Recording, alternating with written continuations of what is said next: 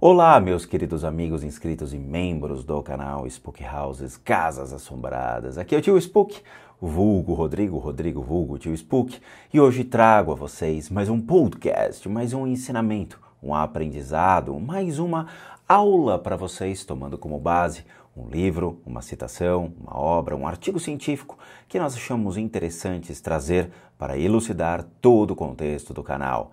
Sentem-se acomodem-se, porque tem muita coisa legal a ser aprendida a partir de agora. O atual quadro científico do nosso universo é de interconexão, de interações mente-matéria e de comunicação instantânea através de longas distâncias.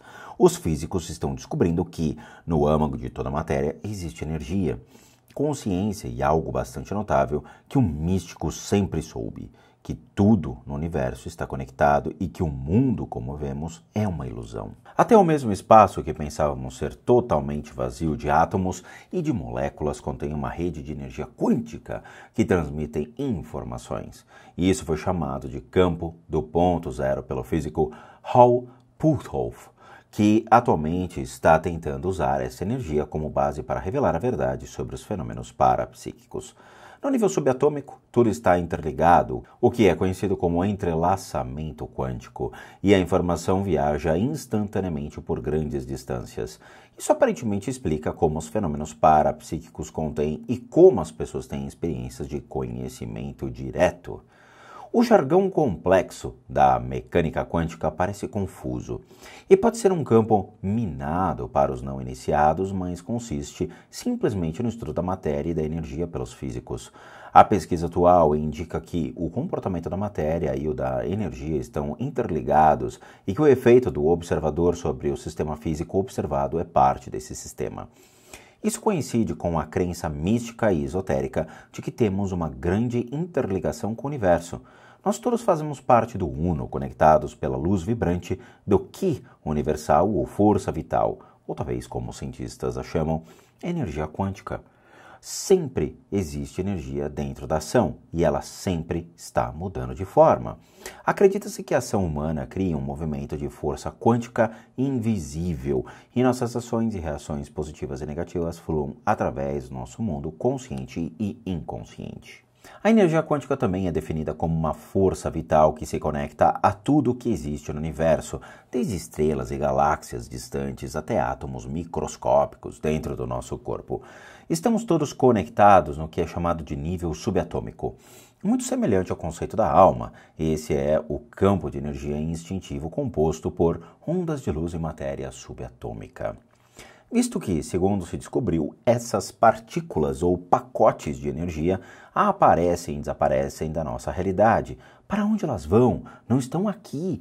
A física quântica sugere que, quando não estão em nossa realidade, elas existem em universos paralelos que somos incapazes de perceber ou mensurar. Na verdade, é essa outra realidade que médiums e paranormais, que qualquer pessoa que tenha feito contato com o mundo espiritual conhece e experienciam. Quando se fala de experiências de quase morte, as pessoas normalmente mencionam uma fonte de luz acolhedora, amorosa e revigorante. Do ponto de vista da física, a luz foi o início do Big Bang e se prevê que ainda exista quando o universo acabar e que todas as formas de luz são atemporais. A Sociedade de Pesquisas Psíquicas, fundada em 1882, tinha a intenção expressa de investigar o espiritualismo e a vida após a morte, e fenômenos parapsíquicos em geral estudados, como o contato com espíritos, as aparições, as visões clarividentes e a mediunidade. Os membros dessa sociedade incluíam cientistas notáveis tais como William Crookes e filósofos como Henry Sidgwick e William James, os quais contribuíram todos para a crença crescente no poder parapsíquico, mais tarde conhecido como Psy pelos parapsicólogos. Muitas investigações sobre a PES, ou PES, a telepatia, a intuição foram realizadas por cientistas e psicólogos durante o século XX.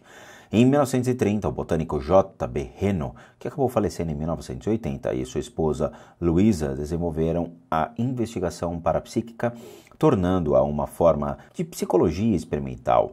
Para evitar as associações com médiums, fantasmas e espíritos, eles a chamaram de para parapsicologia. De acordo com místicos contemporâneos, físico-quânticos e parapsicólogos, parece haver um consenso, pelo menos, quanto à existência de um campo de energia invisível e imanente que flui através de todas as coisas e está acessível a qualquer momento. Conhecido nos círculos espiritualistas como consciência cósmica, ele é considerado pela comunidade espiritual como a fonte de todos os fenômenos parapsíquicos. Na década de 1970, a parapsicologia tornou-se um estudo científico popular. O influxo de filosofias orientais e mestres espirituais da Ásia e as capacidades que, segundo eles, a prática da meditação produzia conduziram à pesquisa sobre estados alternados da consciência do psicólogo americano Dr.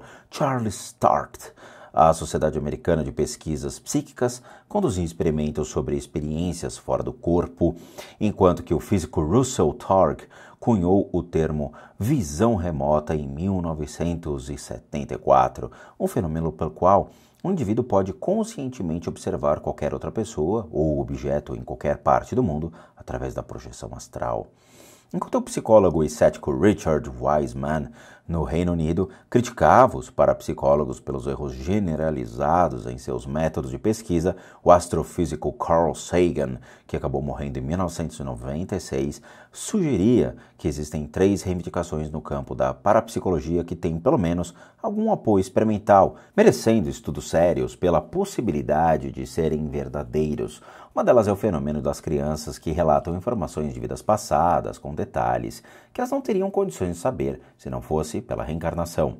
Embora a maioria dos cientistas do Reino Unido considerem a parapsicologia uma pseudociência, os parapsicólogos da Europa e dos Estados Unidos, tais como Gary Schwartz, estão realizando novas pesquisas. O físico britânico Brian David Joveson e alguns outros proponentes da parapsicologia têm falado de ataques irracionais à parapsicologia que decorrem da dificuldade em colocar esses fenômenos em nosso atual sistema do universo. O botânico e cientista J.B. Reno, que acabou falecendo em 1980, considerado um dos pais da parapsicologia estava empenhado em encontrar provas científicas para a existência espiritual dos seres humanos. Ele ganhou fama pelo seu trabalho em percepção extrasensorial em outros fenômenos parapsíquicos da década de 1940 e 1950.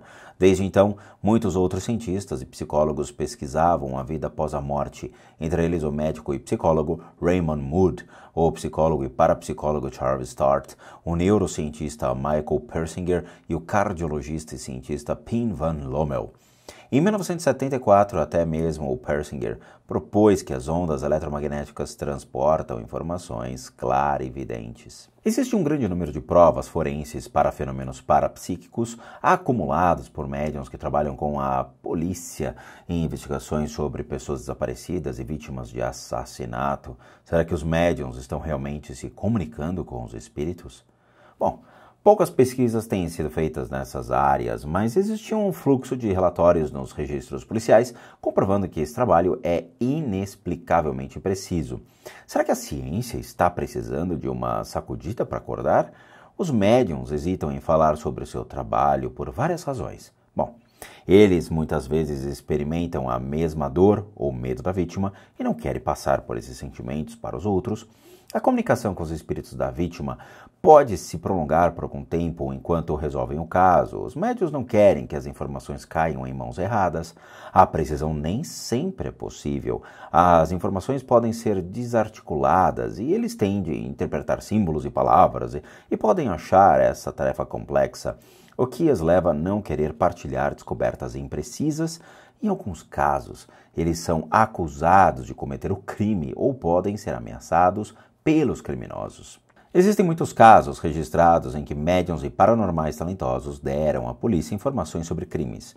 Em muitos desses casos, alega-se que as informações foram transmitidas por clara evidência, telepatia, visão remota ou precognição. Mas na maioria dos casos, as informações vêm aparentemente direto do espírito da vítima. E é esse contato surpreendente com a vida após a morte que desconcerta a polícia e fascina e surpreende a comunicação científica. Veja alguns estudos de casos verídicos de alguns dos mais conhecidos médiums forenses que trabalham atualmente nos Estados Unidos. Seus nomes foram alterados para proteger, obviamente, as suas identidades, mas diante dos casos é difícil imaginar que não se trate de uma verdadeira interação e contato com o mundo espiritual. Doreen, por exemplo, é uma conhecida médium forense nos Estados Unidos. Um caso que remonta a mais ou menos 1987 envolveu duas adolescentes que haviam sido estupradas e assassinadas. Doreen forneceu provas de grande precisão, escrevendo como as vítimas foram assassinadas, incluindo a descrição da letra R usada por um dos assassinos numa parte da roupa e dizendo à polícia para prender um homem de bigode de 32 anos. Toda a informação foi confirmada pelo Departamento de Polícia da Filadélfia. Outro caso envolveu uma atleta desaparecida, Vanessa. Uma média americana foi recomendada ao FBI.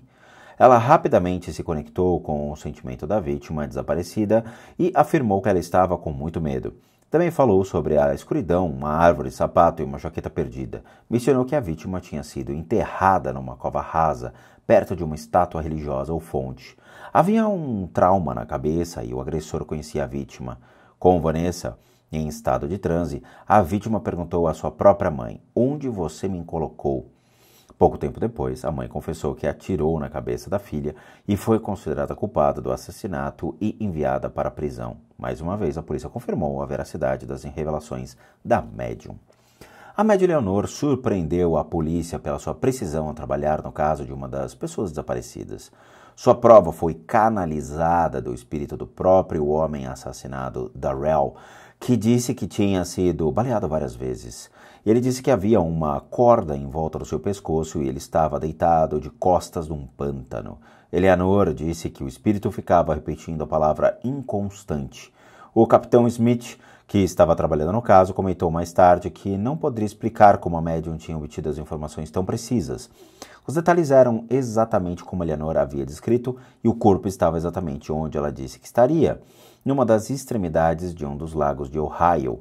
Para o capitão Smith, o momento mais arrepiante foi quando eles prenderam o suspeito e descobriu-se que o sobrenome dele tinha uma grafia muito parecida com a palavra inconstante. Na Pensilvânia, a médium e psicoterapeuta Elizabeth Bell disse ao detetive da polícia local que ele logo estaria trabalhando no antigo crime, ainda sem solução seis meses depois, o detetive Banner recebeu o arquivo de uma mulher não identificada que tinha sido estrangulada e em seguida enrolada no cobertor e jogada num aterro numa pequena comunidade. Bom, meus amigos, este foi mais um capítulo, mais um episódio desse incrível podcast conhecido como a Bíblia da Vida Após a Morte. Espero que vocês tenham gostado, espero vê-los também nos próximos episódios. Não deixe de acompanhar mais um capítulo desse incrível podcast. E só lembrando, para aqueles que realmente procuram e precisam de ajuda, tratamentos direcionados às suas limpezas de casas ou tratamento para suas enfermidades, para doenças físicas, mentais, emocionais, espirituais, kármicas ou o que for, devem encaminhar sua solicitação única e exclusivamente para limpeza de casas@gmail.com. Para aqueles que querem tornar-se membros, nós temos o programa Seja Membro. Basta clicar dentro da própria plataforma do YouTube e que você contribui com R$ reais para nos ajudar dentro desse projeto e continuar caminhando dentro da plataforma, além obviamente do sistema de doação pelo próprio PayPal. Além disso, nós temos a nossa lojinha casasassombradas.com.br com muita coisa legal para vocês. Vejo vocês nos próximos episódios e nos próximos vídeos. E bons sustos a todos nós.